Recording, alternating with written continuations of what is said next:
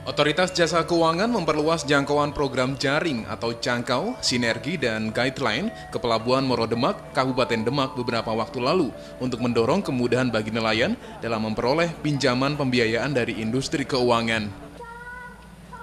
Menteri Koordinator Bidang Pembangunan Manusia dan Kebudayaan atau Menko PMK, Puan Maharani, yang hadir dalam kegiatan tersebut mengajak para nelayan untuk memanfaatkan program jaring dari Otoritas Jasa Keuangan atau OJK.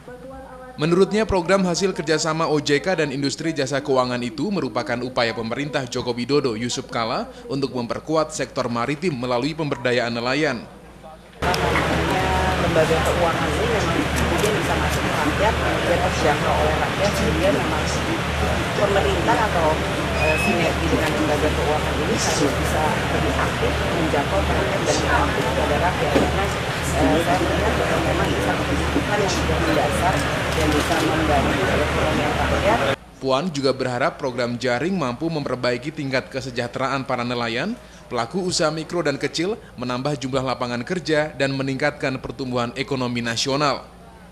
Pada tahap awal peluncuran program jaring tahun lalu terdapat enam bank pelopor pembiayaan pada sektor kelautan dan perikanan.